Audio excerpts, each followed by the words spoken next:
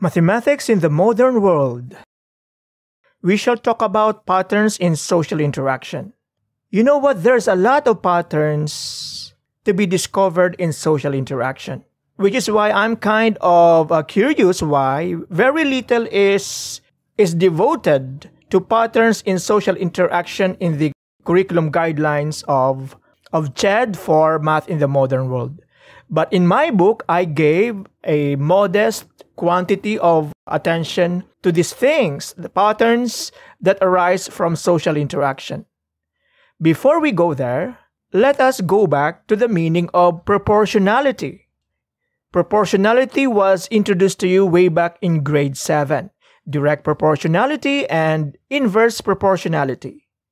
So P is directly proportional to Y if and only if Okay, so this is how we write it. This is read as P is directly proportional to Y. That is a symbol for proportionality. It does not mean infinity.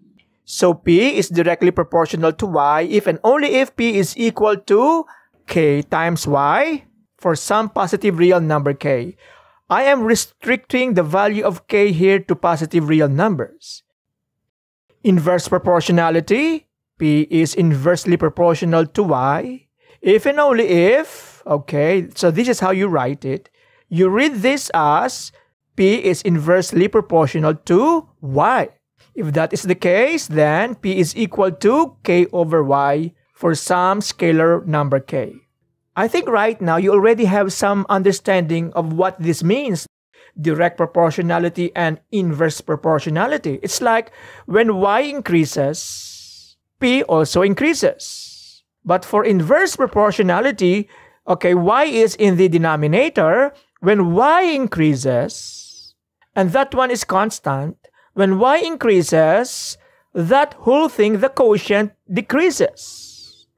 So that is the idea behind inverse proportionality when one is gaining in, in size or gaining in measure, the other is, is decreasing in size or in measure. So let us pay attention to the graphs. This is the graph when P is equal to K times Y. This one is the graph for P is equal to K over Y.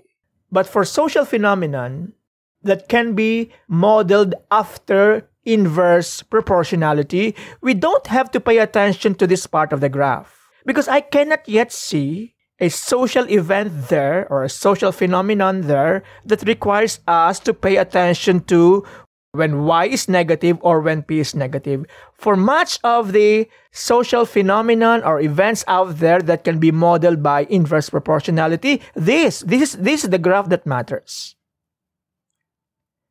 So I will show you some examples of events that show inverse proportionality and direct proportionality. How about the growth rate of of economies? You know what? The economy of a nation is measured by the GDP and it has a growth rate. Well, it just seems that the relation or the association between fertility rate and growth rate is one of inverse proportionality. This is our observation. In general, nations with high GDP growth rates show declining fertility rates. In general, also, wealthier nations have populations that are declining in size. Okay, so let us pay attention to this graph and to this notation. So this one is inverse proportionality. When incomes of nations as measured by the size of the GDP or measured by the growth rate of the GDP increases, the fertility rates of women or the population size of the nation or of the community decreases. So that is the idea behind inverse proportionality. When this one increases, this one decreases. And that is also revealed by the graph. So this one is a decreasing curve. As y increases, the value of p decreases. This is a scatter plot of the nations and their corresponding GDP per capita as measured in $1,000 and the fertility rate. So Iraq, for example, by the way, this is a data taken from 2015. So Iraq, for example, its GDP per capita is something like uh, 16,000 US dollars. 16,000 US dollars. But the fertility rate per woman in a country like Iraq is is somewhere between 4 and 5. It's close to 4, something like 4.1. So again, uh, what is our understanding of fertility rate? We can look at it as as the number of children born per woman in a country like Iraq. An adult woman would give birth to 4 kids in her lifetime. For the US, the US the GDP per capita is is between 50 and 60,000 but their fertility rate is a little less than 2. How about the Philippines? The Philippines per capita income, GDP per capita is 3.5 thousand US dollars and the fertility rate of our women is is close to 3. So that means on average Filipino adult woman will give to 3 babies in her lifetime. How about Japan? Japan is a wealthier nation. Its GDP per capita is something like 35,000 US dollars and its fertility rate is only 1.39. So it's between 1 and 2. Again, what is the pattern that is revealed by this scatter plot?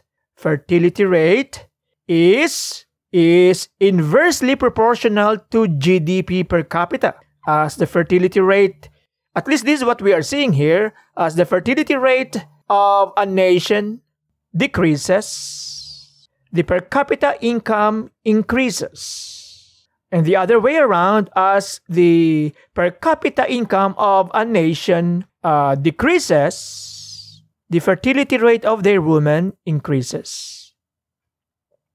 How about in Southeast Asia? So this is the graph a line graph showing the fertility rates of the nations in ASEAN. So for the Philippines, the pink one, the bright pink one, that one, that line. In year 2000, the fertility rate of our women is is, is close to 4. It's a, it's a little less than 4 or 3.8, 3.9. By 2019, it's less than 3. That is a big change. That is a big change. You know what? I can remember the days when I was in school and our teachers are saying the per capita or the fertility rate of women in our country is something like six. So that must be in the years 1970. So this is the trend in the fertility rate in our country as, as a function of time. It is declining. How about the GDP? Well, the GDP of various nations is increasing. Let us put these two graphs together. As income rises, the fertility rate decreases. Another social phenomenon that shows a pattern the business cycle.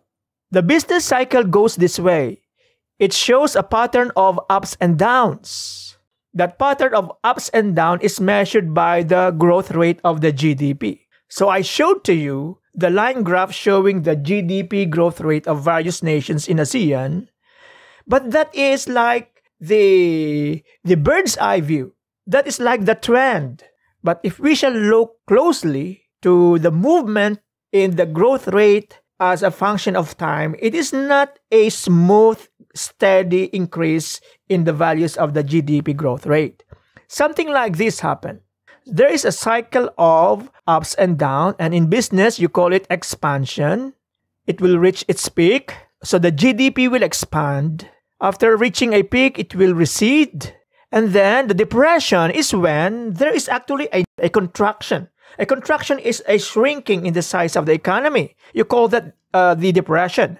And by the way, right now, I am doing this video during the times of the pandemic. We are beginning to see a contraction in the economy. And then after, the, after the passing of some time, the economy will recover, it will expand again, it will peak, and it will undergo recession again.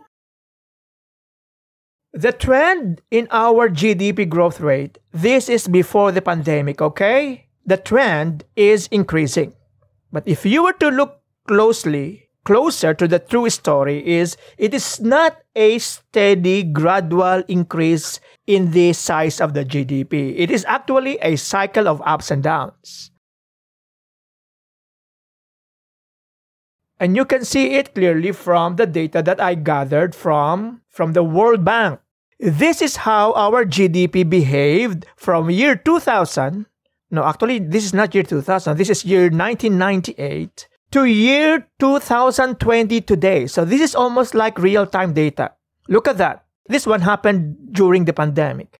If we shall ignore this, this 2020 thing, from 1998 to 2019, the trend is increasing. But if we shall pay attention to the actual movement of the GDP, it's not a gradual ascent in, in value.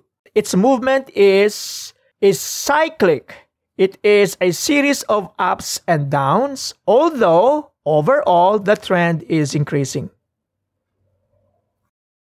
There are more patterns in social interaction.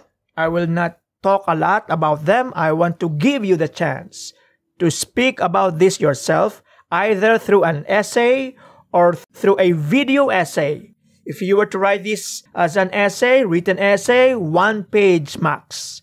If you were to prepare a video essay for this, two minutes, video essay max. These are some of the patterns that I see, and we shall state the direction of proportionality, education and income.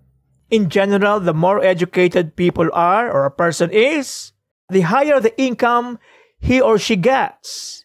And so that is one of direct proportionality. In our country, there is a direct proportional relation between literacy and English and income. And I can tell you uh, from experience, many people are not formally employed. You know what? because they cannot even bring themselves to apply to a company. Why? Because they have to fill in an application form, and the application form is written in English. They are discouraged. They do not have the courage to go on because they know they cannot accomplish the first task that has to be done when you are applying for a job, which is to fill in an application form, and they can't even do it. It's the same with opening a bank account. Many people in our country cannot or would not open a savings account because they are discouraged by the task needed to fill in an application form to open a bank account.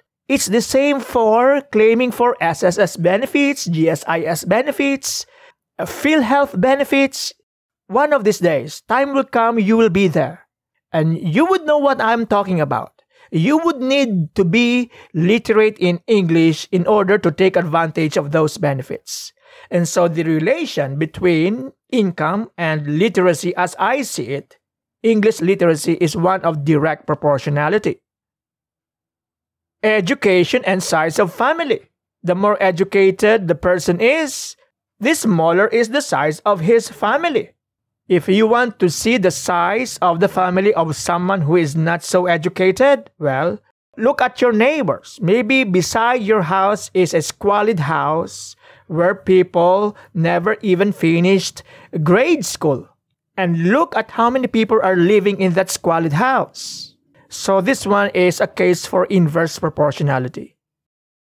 Now, this is just my hunch, and this one is based on my readings in the literature about IQ, IQ, and being incarcerated in jail. If you were to run a survey, a psychological test in a jail, where you will test for people's IQ there in the jail, I have the feeling that there is an inverse proportionality between IQ and the fact that you are inside the jail. I think that in general, criminals who gather there, who are pulled there inside a jail, have lower IQs. I will stop talking about this because these are interesting issues and I want to give you the chance to talk about this yourself. You can talk about this in the form of an essay, one page maximum, or you can produce a video essay, two minutes maximum.